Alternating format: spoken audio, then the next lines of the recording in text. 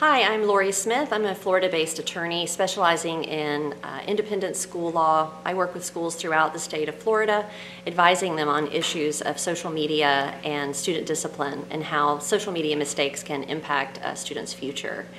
Um, I'm so pleased that Corbett Prep is bringing me in today to speak to their students, really preparing them to live in the world that we live in um, educating them about the dangers of social media and how social media mistakes can impact their future and really take opportunities off the table for them.